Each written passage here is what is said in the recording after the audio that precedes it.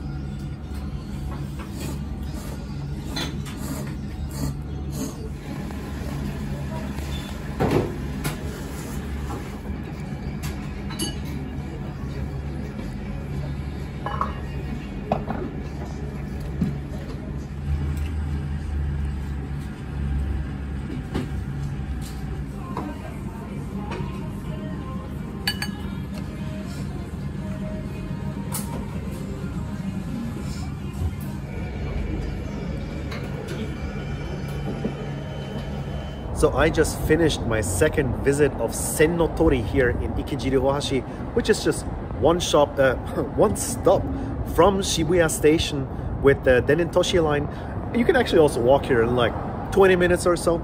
So quite easily accessible shop, which is, uh, in my opinion, all about the noodles, which are really, really the highlight here. Um, for the first visit, I had their shoyu ramen, which is quite interesting.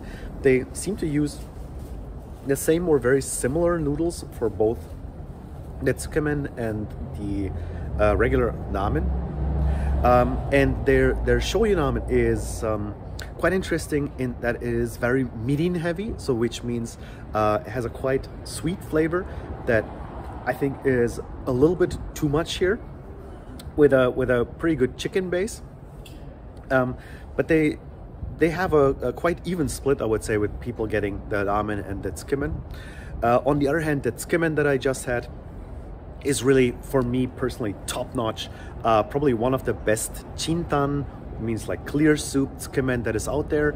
Uh, it comes served with some kombu sui on the side, so the noodles are actually sitting in kombu water. So you have a little bit of a dashi there, some some flavor base that acts somewhat as a flavor enhancer uh, when combined with the soup. The soup is quite uh, sharp and um, tangy. It has like a a nice salinity to it, but not uh, exaggerated. So even in its un- un- unchanged state without uh, any soup body, it's already almost drinkable. But it really combines well with those super uh, thick, flat, uh, a little bit wavy noodles that are yeah relatively thick and nice to chew, super slurpy um, they're really the highlight and the most fun thing to eat here. And uh, the cool thing is they also at night, only at night, they have a kamatama style abura soba, which means uh, fresh out of the the pot, the boiling pot, uh, served with a raw egg on top. I think at least a raw egg yolk. I think the, the tare will be underneath and you're supposed to just mix it up and it almost becomes like a carbonara style. Um, only at night, unfortunately available, so I'll be back here to try that one one day. Uh, but for now, if you're looking for clear type chintan, uh, tsukemen with kombusui, um, then Sennotori probably should be on your uh, to-do list for Tokyo and uh, yeah easily can recommend that one the ramen personally I was not the biggest fan but yeah for for noodle lovers for tsukemen uh, enthusiasts Sennotori Ikeji easy recommendation and that's all for me for today I hope you enjoyed this video. If you like my videos, click like and subscribe and maybe leave me a comment down below. Which shop would you like me to go to in 2024? And uh, yeah, if you are keen on listening to me talk about ramen with other people, um, then check it the check out the Ramen in Japan podcast. And yeah, that's all from me for today. See you guys in the next one.